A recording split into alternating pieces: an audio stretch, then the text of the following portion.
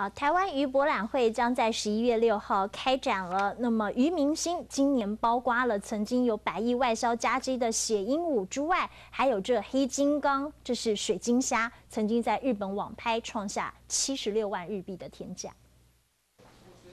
在水族箱里自在优越的鱼儿，红彤彤的身体，额头又大又凸，胖嘟嘟的肚子，再加上又长又大的尾部，象征饱满肌肤。不过一点都不能小看它，因为它不但曾经价值上百万，而且还是水族界的宠儿——血鹦鹉，并且更有个外号叫做“财神鱼”。这方面它喜欢弱酸性的水质，然后中软，硬度上面属于中软，然后饵料。现在一般市面上都有卖那个洋式饵料嘛，它里面添加了胡萝卜素。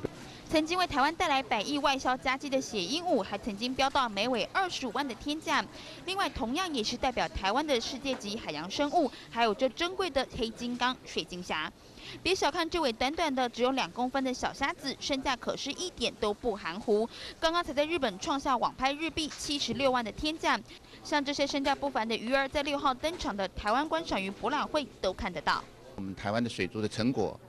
能够让我们国人能够呃了解。那因此我们在展览的方形式上面，不是纯粹是展览鱼而已，而是让它跟它的背景啊，包括它的这个呃这个这个生活。等等结合在一起，